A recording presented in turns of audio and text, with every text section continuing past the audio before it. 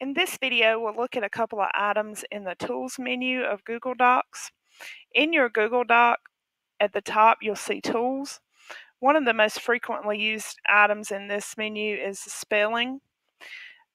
Spell check, of course, checks all your spelling, makes suggestions.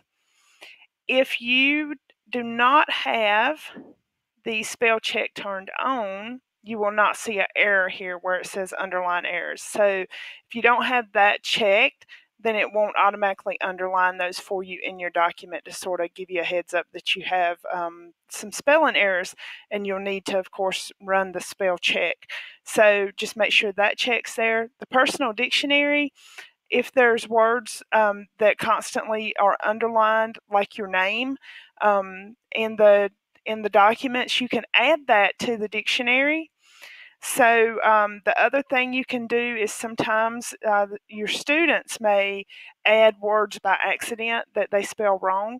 So then Google doesn't pick it up as a misspelled word. So you'll have to go in here to delete that. So um, I'll show you for instance, let's say we misspelled the.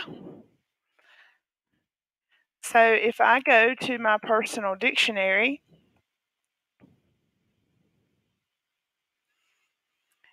if a child or an adult were to accidentally add this, then it's going to no longer pick that up as a misspelled word. You just need to go in and dump that out. Um, so throw that in the trash and then it picks it up again that it's misspelled. The other tool that, um, the other item under the tools menu that's used a lot is word count, especially when students are uh, required to write something with a certain number of words. So again, you can go up to the menu and find that. Or as you see here, you can use Control Shift and C to get that information.